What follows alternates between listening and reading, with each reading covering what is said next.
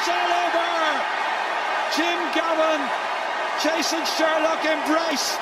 Dublin are the history makers. Welsh. Tommy Walsh has the ball. Kilkenny have the trophy.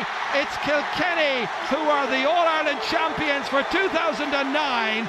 They are the first team to do four in a row since the 1940s.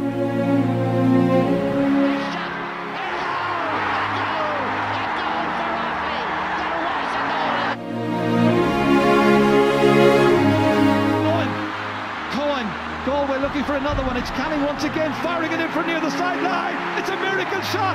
It's gone over the bar. The Hart might go for a winner here. Oh, it's a huge one. He's got it.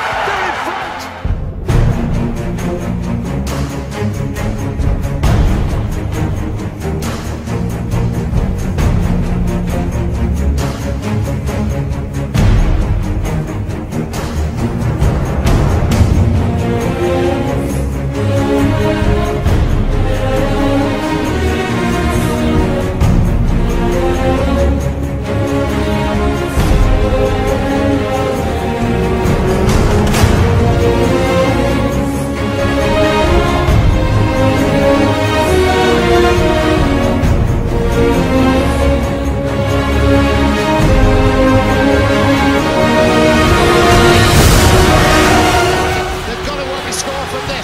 Owen Mulligan, options to his left. Still Mulligan. Mulligan! What a goal! That is one of the great goals we've seen at Crompton. Thomas is ready. Shefflin is as well. He's got eight points so far. They need it. It's the back of the in his 22nd ever championship goal. Bursting forward immediately. Moran trying to catch up with him. Merchant still going. What a to come over. We don't talk when we're sober. Fairy tale like a different thought.